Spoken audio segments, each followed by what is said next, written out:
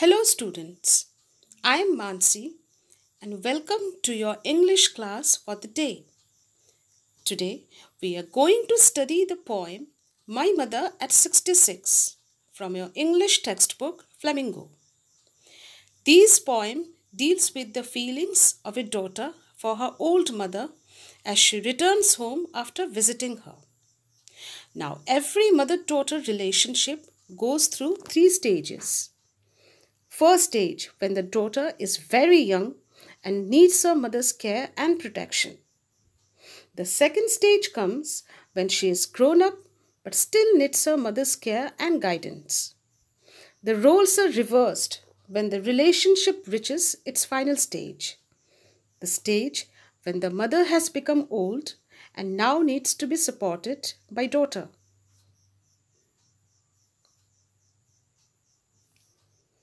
So let's study the poem My Mother at 66 by Kamla Das.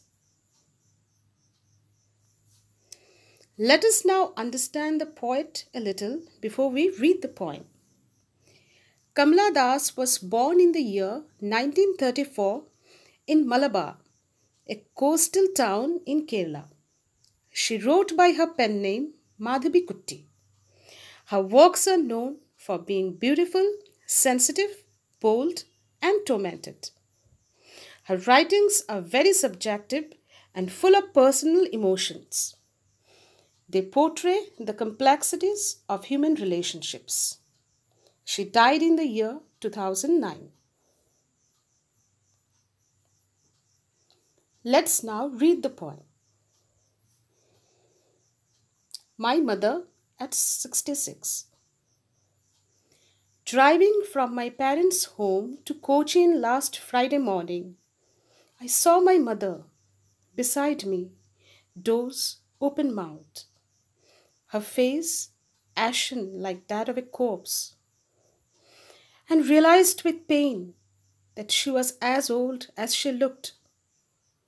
But soon put that thought away and looked out at young trees sprinting, the married children spilling out of their homes. But after the airport security check, standing a few yards away, I looked again at her, when pale as a late winter's moon, and felt that old familiar ache, my childhood's fear. But all I said was, See you soon, Amma. All I did was smile and smile and smile.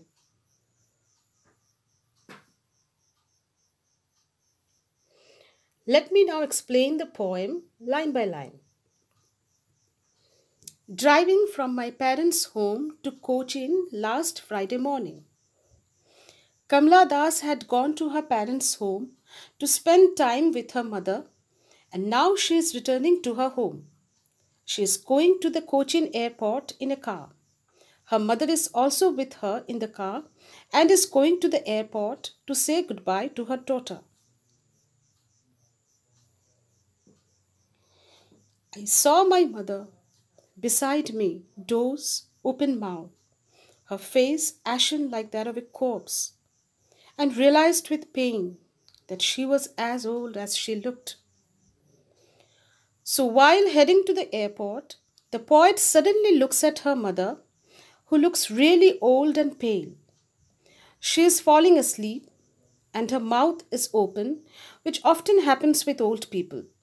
She almost looks like a corpse or dead body to the daughter, since her face has lost its natural radiance and color and looks pale and wrinkled. The poet is pained to realize that her mother has become quite aged and feels sad and broken at the thought.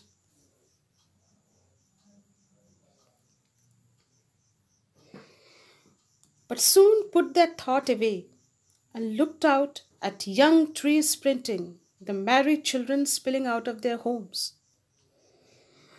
Now, this line is very important. In order to distract her mind from the, th- uh, from the sad thought, the poet looks out of the window to the world outside. There, she sees the young trees pass by as her car speeds towards the airport. She also sees many young and happy looking children rushing out of their homes. Now, these two scenes are significant because while young trees symbolize life and growth, the merry or happy looking children spilling out of their homes represent youth, vitality, and energy. Instead of distracting her thoughts, both these two scenes, in fact, serve as a reminder of the poet's mother's old age again.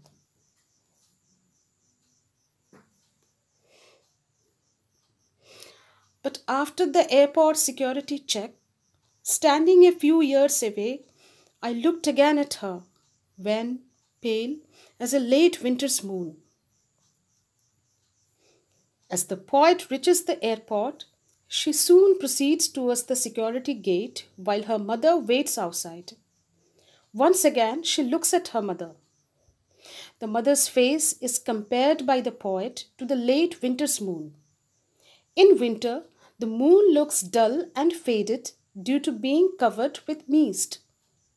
The mother's face, too, is wrinkled and lacks youthful brightness and beauty.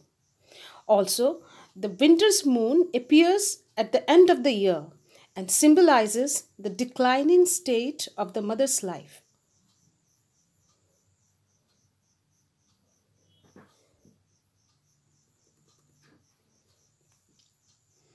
And felt that familiar ache, my childhood's fear.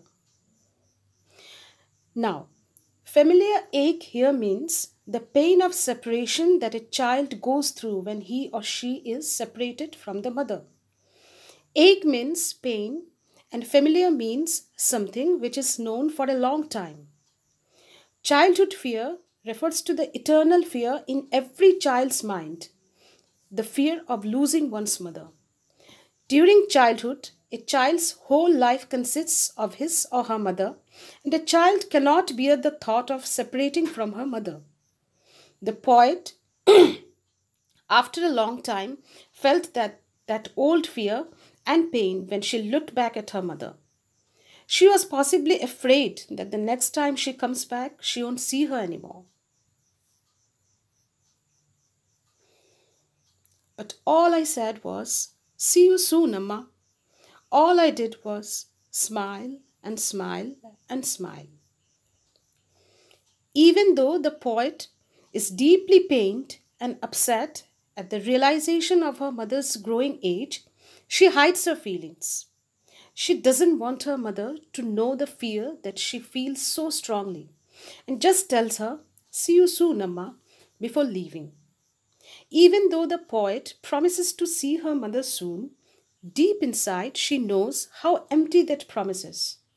Her mother has become very old, and there is no certainty that she would see her again. But she does not let her feelings known to her mother and keeps smiling at her before leaving for her destination.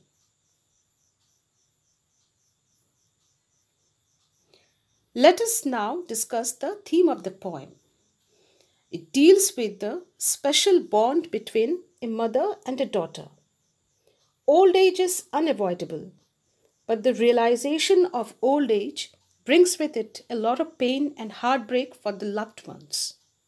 Here, the poet is heartbroken to realize that her mother has become old and frail. She finds it extremely difficult to accept that her mother is advancing towards the last stage of her life. But she tries to hide her true feelings from the mother and says a forcefully cheerful goodbye to her before leaving. The poem describes the sad thoughts and emotions that come to the mind of the daughter on her way to the airport. Now, students, let us discuss some of the poetic devices used in the poem. Simile. A simile is a figure of speech that uses comparison. In a simile, we use two specific words, like and as, to compare two unlikely things that actually have nothing in common. Take, for example, the sentence, She is as brave as a lion. Here, a human being and an animal are compared using the word as. In the poem, we have two examples of similes her face ashen like that of a corpse, and as a late winter's moon. Personification that is another poetic device used in the poem. Personification is a figure of speech in which a non living thing is invested with the quality of a living thing. We give an inanimate object some human qualities such as emotions or gestures or even speech. Example The wind howled as the storm grew stronger. Here, the wind is given the animal trait of howling. This is an example of personification. In this poem, we have an example of personification in the phrase trees sprinting. Sprinting is a human quality which is given to trees. As the poet looked outside the window, to her imagination it seemed that the trees on both sides of the road were also racing ahead along with the speeding car.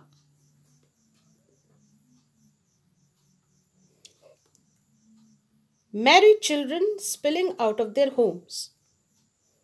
Here, the image of a happy, youthful, and energetic children rushing out of their homes is in stark contrast to the sad and morbid atmosphere inside the car, as it painfully reminds the poet of her old, weak, and frail mother. This is an example of poetic imagery.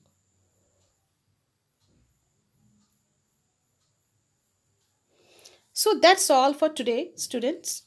We will soon meet for the next chapter. Thank you.